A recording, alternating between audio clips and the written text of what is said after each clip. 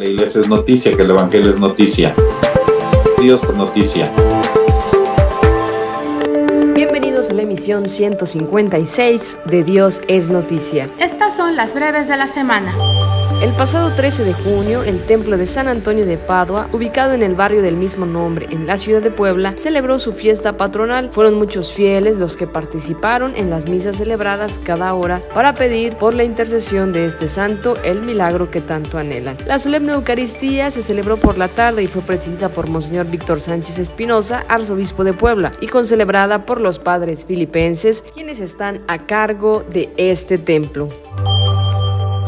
Pasado 12 de junio, la Renovación Católica en el Espíritu Santo realizó su retiro diocesano de Pentecostés. Se llevó a cabo en el Pontificio Seminario Palafoxiano y contó con la presencia de los ponentes Miki Martínez, León Reyes, Lina González, Omar Guzmán y Saraí Rendón, así como también con algunos ministerios de música. Cabe resaltar que hubo participantes de otras diócesis cercanas, además de la nuestra. Fue un retiro lleno de fe y entusiasmo en el que se renovó la esperanza y el amor a Dios.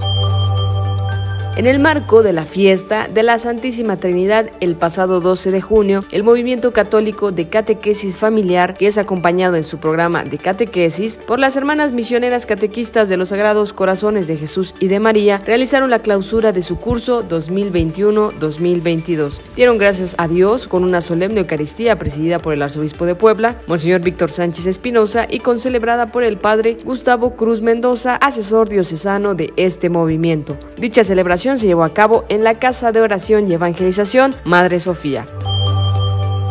La parroquia de Nuestra Señora de Ocotlán, de la colonia Humboldt, realizó la catequesis para matrimonios, la cual constó de siete miércoles, en los que 40 parejas participaron también de una asamblea de oración. Al finalizar dicha preparación, el párroco, el padre Delfino Franco, realizó la renovación de votos matrimoniales de las parejas y se consagraron al Espíritu Santo. Este grupo ahora forma parte de la comunidad Alianza de Amor de la misma parroquia.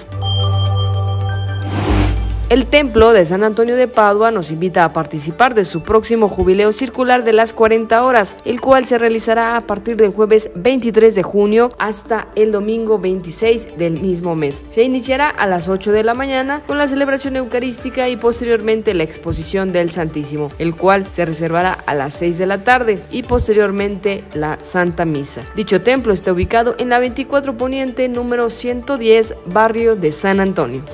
La Renovación Católica en el Espíritu Santo invita a jóvenes a participar del retiro Kairos, Tiempo de Dios, que se llevará a cabo los días 25 y 26 de junio en la Casa de la Cristiandad, que está ubicada en la Avenida 33 Oriente y 18 Sur, número 1625. El horario del sábado será de 9 de la mañana a 5 de la tarde y el horario del domingo de 9 de la mañana a 2 de la tarde y tendrá una cuota de recuperación de 100 pesos.